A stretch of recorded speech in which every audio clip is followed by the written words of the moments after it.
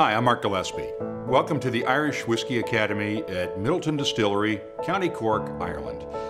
We're going to taste the Redbreast 21, one of the uh, single pot still whiskeys that is made here at Midleton.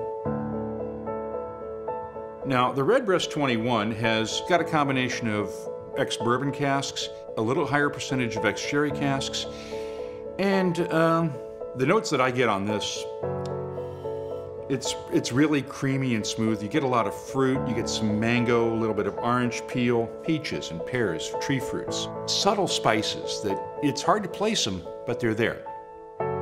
So,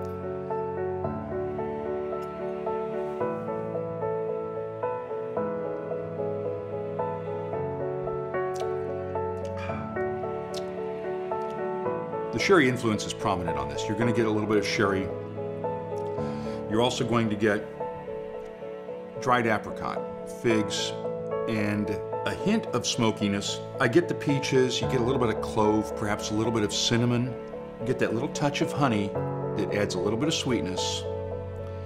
And you get a very complex, very unique, very well-balanced whiskey, and it'll make your whiskey drinking a lot more interesting. I'm Mark Gillespie. Thanks for joining us, and